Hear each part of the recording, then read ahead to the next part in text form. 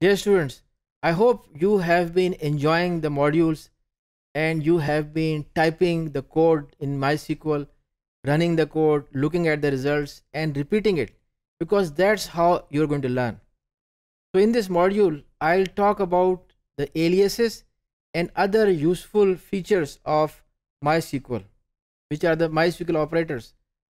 So why we look at the aliases, the reason being that when we have a lot of tables and we are referring to those tables, it becomes very complicated and very complex. So we need to simplify all those things.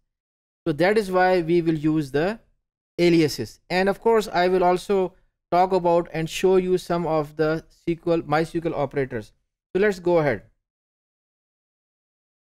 So why do we use or why do we need the aliases? As you start to work with many tables, things can start to go unwieldy.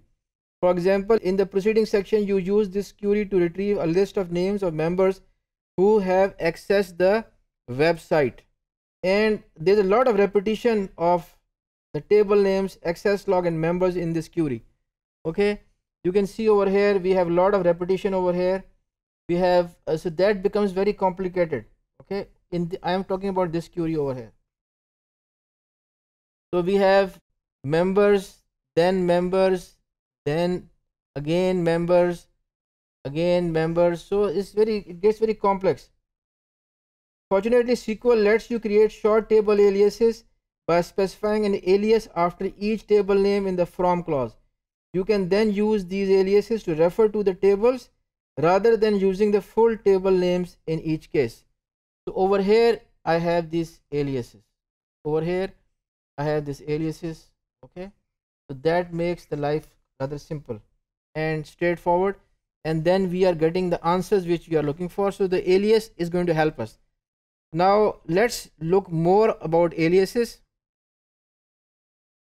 Uh, notice in this case the second column in the result is called count and page url over here. Not only is this not very descriptive but you'll find it awkward to refer in your php script Therefore, it's a good idea to rename this column to something more meaningful. Okay, so we have, you can see the results are same. They are same over here. But we have over here URLs viewed using the as. So we use this alias over here. This makes things simple. Other MySQL operators, MySQL contains a wealth of operators and functions that you can use to build more complex queries.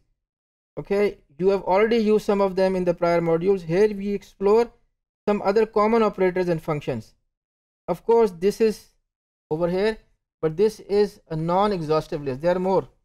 Much like PHP, MySQL features various comparison operators that you can use to compare column values and other expressions in your queries by using null safe operator okay null safe operator you ensure that any null value is not propagated to the result okay.